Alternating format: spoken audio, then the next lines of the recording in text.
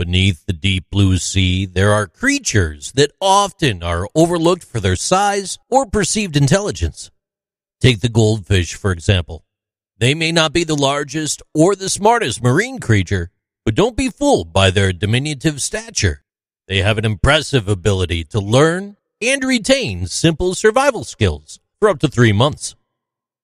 Picture a school of golden fish swimming through the sun kissed waters their sleek bodies shimmering in the light.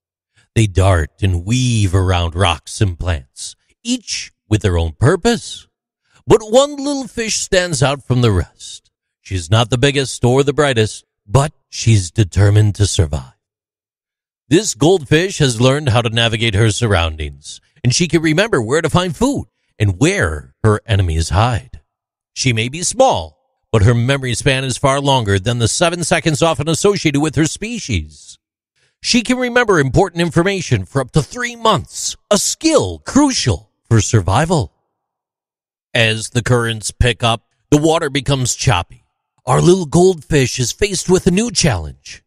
A lever sits before her, and she knows that pushing it at the same time every day will yield a delicious reward. With her impressive memory, she quickly learns the routine and becomes a pro at pushing the lever. The goldfish's ability to tell time is remarkable. It shows just how intelligent these creatures can be. Their attention span may be slightly above that of a typical teenager, but they make up for it with their impressive memory and survival skills. So the next time you see a goldfish swimming in a tank, don't underestimate its abilities. It may be small, but it's a survivor with a memory that can hold on to information for months. And who knows? Maybe it's even telling time.